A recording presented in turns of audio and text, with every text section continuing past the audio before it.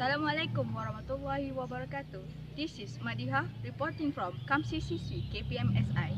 Today, I'm going to report on dis the disappearance of Karim, the cat.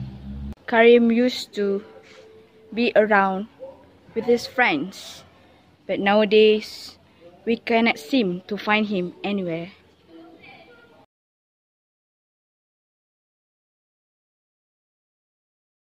Disappearance of Karem is like really has been bothering me mentally and physically. I miss Karem so much because he used to wander around Kamsis and pee everywhere. So Okay, um, okay. Since we have the feedback here, yeah, yeah. Karem has left us with a lot of good memories, and we can only hope that he will come back one day. This is Madiha reporting from KPMSI.